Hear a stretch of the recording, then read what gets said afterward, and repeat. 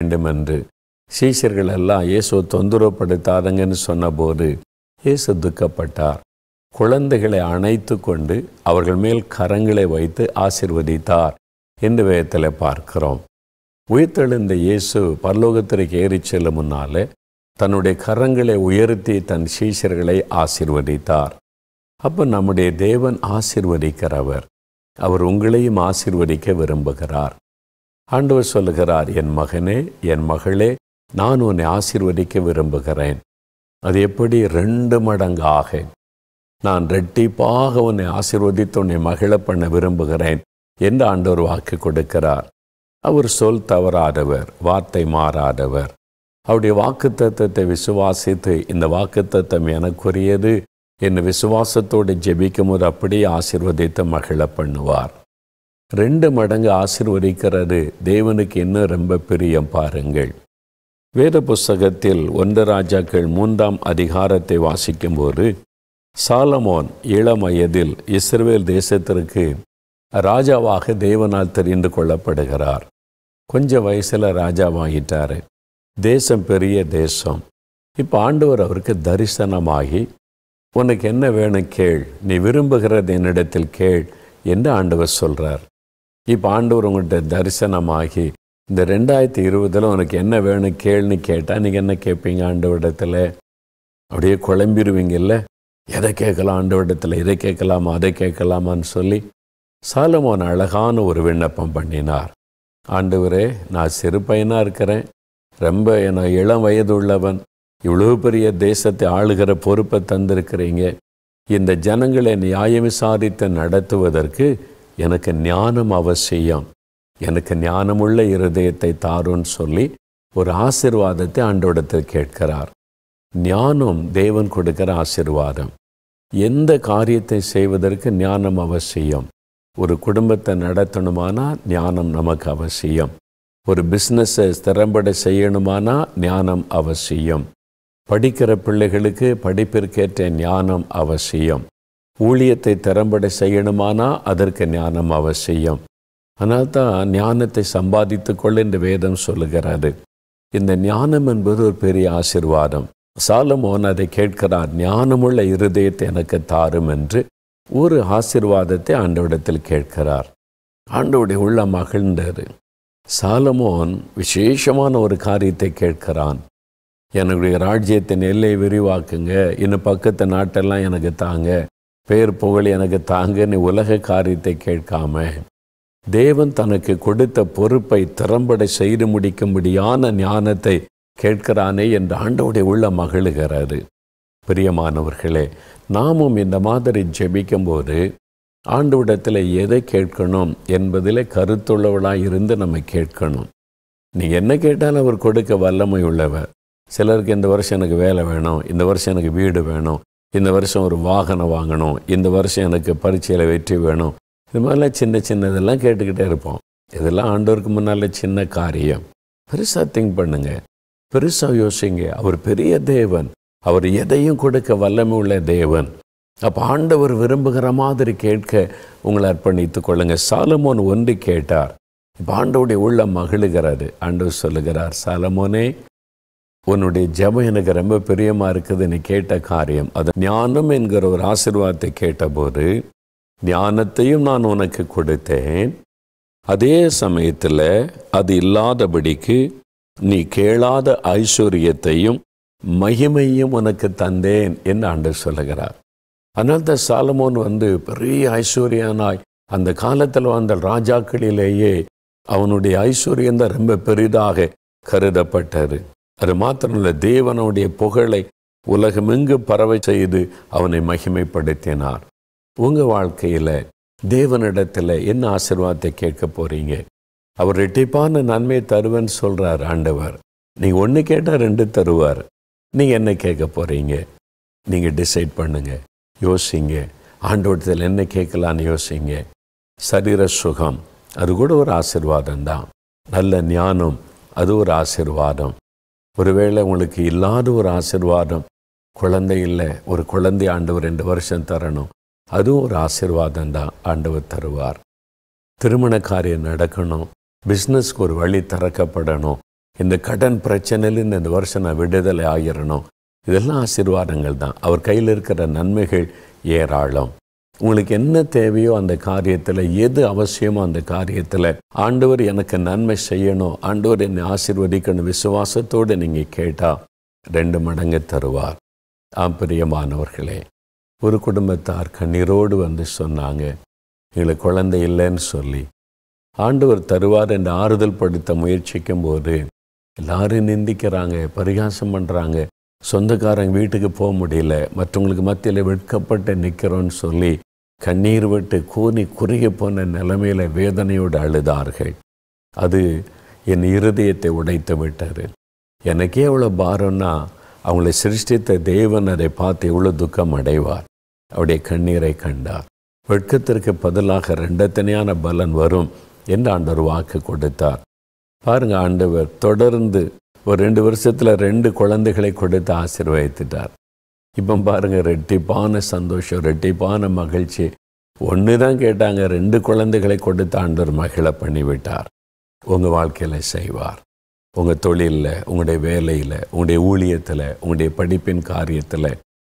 உங்களுக்கு எந்த காரியத்தில் இந்த வருஷம் ஆசீர்வாதம் தேவைன்னு நினைக்கிறீங்களோ நீங்கள் எதிர்பார்ப்பதை விட ரெண்டு மடங்காய் தேவன் ஆசிர்வதிப்பார். இந்த வாக்குத்தத்தை உங்களுக்குரியதுன்னு விசுவாசிக்கிறீங்களா? ரெட்டிப்பான நன்மை தருவேன். என் ஆண்டு சொன்னது எனக்குரியது. இந்த வாக்குத்தத்தை எனக்குரியது. எனக்கு ரெட்டிப்பான நன்மையை தருவார். இந்த ரெண்டு மடங்கு ஆசீர்வாதத்தை நான் பெற்றுக்கொள்ள போகிறேன்னு விசுவாசிக்கிறீங்களா? உங்களுக்கு அந்த வாக்குத்தத்தை சொந்தமாக்கி கொள்ளணும். அதை விசுவாசிக்கணும். அதற்காக ஜெபம் செய்யணும். அன்று இப்படி வாக்கு கொடுத்தீரே. அது என் வாழ்க்கையில் நிறைவேற்றி தாரும். நீங்கள் அதை சொல்லி ஜெபிக்கும் போது தான் ஆண்டவர் அற்புதம் செய்வதை நீங்கள் பார்க்க முடியும். ஆப்பிரியமானவர்களே ஒரு சமயம் ஒரு குடும்பத்தார் வந்தார்கள். ஒரு கடிதத்தை காண்பித்தார்கள். ரொம்ப பழைய கடிதம் அது. இது எதுக்கு பத்திரப்படுத்தி வச்சுருக்கிறீங்க? நான் எத்தனையோ வருஷத்துக்கு முன்னால் உங்களுக்கு எழுதின கடிதம். அவங்க சொன்னாங்க அப்போது நாங்கள் ஒரு நெருக்கமான சூழ்நிலையில் இருந்தபோது உங்களுக்கு ஜெபிக்க கடிதம் எழுதியிருந்தோம். அப்போ நீங்கள் ஜெபம் பண்ணி இந்த வாக்கு தத்தத்தை எழுதி இதன்படி கத்தர் உங்களை ஆசீர்வதிப்பான்னு அந்த கடிதத்தில் குறிப்பிட்டு இருந்தீங்க இந்த கடிதத்தை வைத்து அந்த வாக்கு தத்துவத்தை சொல்லி சொல்லி நாங்கள் ஜெபம் செய்கிறோம். இந்த வாக்கு தத்துவத்தை நாங்கள் விசுவாசிக்கிறோம் ஆண்டவரேன்னு சொல்லி நானும் என் மனைவியும் என் குடும்பத்தில் இந்த வாக்கு தத்துவத்தை சொல்லி சொல்லி ஜெபித்தோம். அதன்படியே கத்திரங்களை ஆசீர்வதித்தார். இன்றைக்கி நாங்கள் ரொம்ப நல்லா இருக்கோம் மகிழ்ச்சியாக இருக்கோம் ஆசீர்வாதமாக இருக்கிறோம். அதனால தான் அந்த வாக்கு தத்துவம் எழுதப்பட்ட அந்த கடிதத்தை இத்தனை வருஷமாக கிட்டத்தட்ட இருபது வருஷத்துக்கு மேலாக அந்த கடிதத்தை பத்திரமா வச்சிருக்கிறாங்க. அவங்க அதை சாட்சியாக சொல்லி மகிழ்ச்சியோடு கூட ஆண்டவரை துதித்தார்கள்.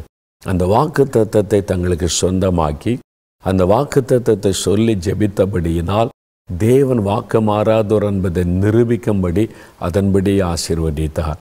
நீங்களும் இந்த ஆண்டவரை பார்த்து இந்த ரெண்டாயிரத்தி இருபதாம் வருஷம் எங்களுக்கு ஆசீர்வாதமான வருஷம்.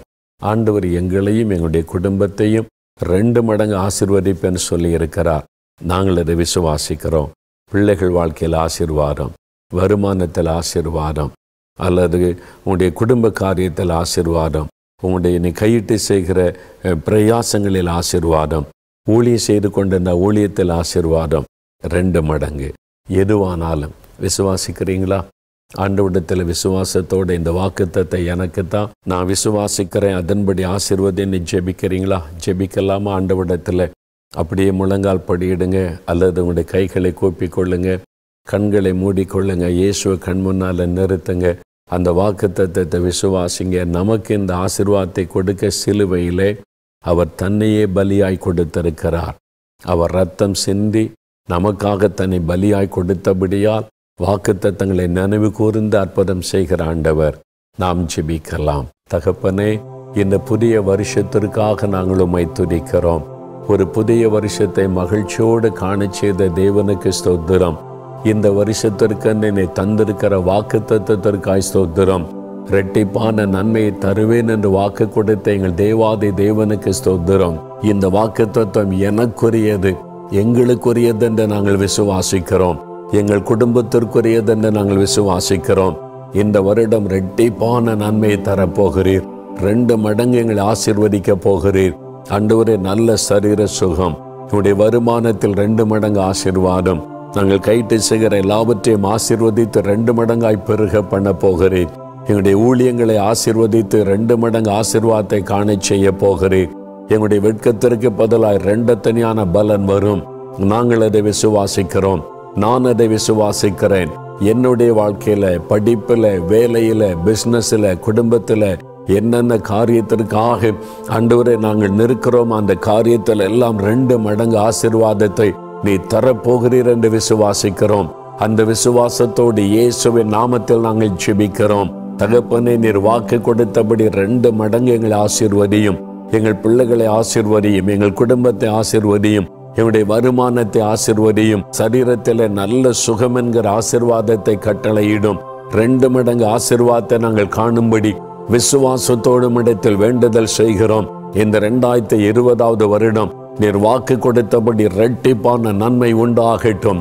இன்றைக்கே அது உண்டாகட்டும் என்று மன்றாடி ஜெபிக்கிறோம். தகப்பனே உம்முடைய பிள்ளைகளோடு இணைந்து அவர்களை ஆசிர்வதித்து உம்முடைய வாக்கு தத்துவத்தின் ஆசிர்வாதத்தை அவளுக்கு அருளை செய்ய வேண்டும் என்று நான் ஜெபிக்கிறேன் அப்பா. உன்னதமான ஆவிக்குரிய வாழ்க்கையிலே ஆவிக்குரிய ஆசிர்வாதங்களை அருளி செய்தவளை மகிழ பண்ணும். பரிசுத்த ஆவினாலும் வல்லமையினாலும் நிரப்பி ஆவிக்குரிய வாழ்க்கையில ரெண்டு மடங்கு ஆசிர்வாதத்தை தாரும். சரீரத்திலே நல்ல சுகபலனை கொடுத்து ரெண்டு மடங்கு சரீர பலன் உண்டாகட்டும். படிக்கிற பிள்ளைகளுக்கு ரெண்டு மடங்கு ஞானத்தை அருளி படிப்பிலே பெரிய வெற்றிகளை கொடுத்து அவளை மகிழ பண்ணும். வியாபாரம் தொழில் செய்கிற பிள்ளைகளுக்கு வருமானத்தை பெருக பண்ணும்படி வியாபாரத்தை ரெண்டு மடங்கு ஆசிர்வதித்தை பெருக பண்ணும். வேலை செய்கிற பிள்ளைகளில் ரெண்டு மடங்கு ஆசிர்வாதத்தை வேலையில கொடுக்கும்படி உயர்வை கொடுத்து ஆசிர்வதித்து மேன்மைப்படுத்தும். வருமானத்தை கத்தர் பெருக பண்ணி கொடும். ஊழியம் செய்கிற பிள்ளைகளுடைய வாழ்க்கையில ரெண்டு மடங்கு ஆத்துமாக்களை தாரும். ஊழியத்தின் எல்லைகள் விரிவாகட்டும். இயேசுவின் நாமத்தில் அந்த ஆசிர்வாதம் உண்டாகட்டும். இயேசு கிறிஸ்துவின் நாமத்தில் ஒவ்வொருவர் மீதும் இப்பொழுது உடைய கரம் வைத்து ரெண்டு மடங்கு ஆசிர்வாதத்தை அருளி செய்யும். குழந்தை இல்லையே என்று சொல்லி அவமான நிந்தை நெருக்கத்தின் மத்தியில் இருக்கிற பிள்ளைகளுக்கு வெட்கத்திற்கு பதிலாய் ரெண்டத்தனியான பலன் வரும் என்ற வார்த்தையின்படி இந்த வருடத்தில் ரெண்டத்தனியான பலனை கொடுத்து அவளை மகிழ பண்ணும். இதோ இயேசுவின் நாமத்தில் அவளை ஆசிர்வதித்தை ஜெபிக்கிறேன். வாக்கு தத்தத்தின் ஆசிர்வாதம் உண்டாகட்டும். இரட்டிப்பான நன்மை உண்டாகட்டும். இயேசுவின் நாமத்தில் நாங்கள் இதை பெற்றுக்கொள்கிறோம். இன்றைக்கு அற்புதத்தையும் அடையாளங்களையும் ஆசிர்வாதத்தையும் பிள்ளைகள் காணட்டும். இன்று முதல் உங்களை நான் ஆசிர்வதிப்பேன் என்ற வார்த்தையின்படி இன்று முதலே இரட்டிப்பான ஆசிர்வாதம் பிள்ளைகளுக்கு உண்டாயிருக்கட்டும். கத்தர் அப்படி ஆசிர்வதித்து விட்டதற்காய் ஸ்தோத்திரம் ஸ்தோத்திரம் ஸ்தோத்திரம். இயேசு கிறிஸ்துவின் நாமத்தில் ஜெபிக்கிறோம் பிதாவே. ஆமேன் ஆமேன்.